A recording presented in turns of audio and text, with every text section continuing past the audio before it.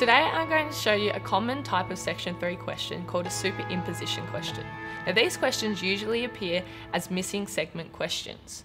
The way these questions work is you essentially add the colours together and you can create a code to try and find the solution to the question.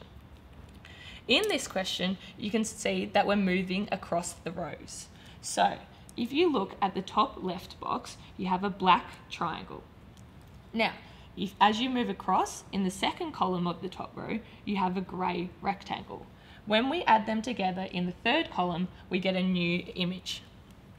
Where black and white overlap,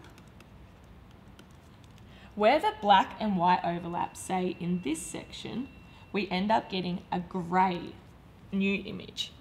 Where the black overlaps with grey, we get a black image. Where grey overlaps with white, we get a white image. Now we have created a code that we can use to try and solve the problem. If we head down to our bottom row, we can see in the top left corner, we will have grey plus white. Using our code, this will equal white. So automatically we can rule out A, as some of the top left corner is black. Now if we look at the bottom left corner, we will add grey with black.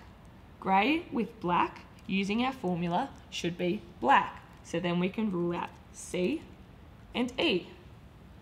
Now, if we look at the second row, you can see that white with white also makes white.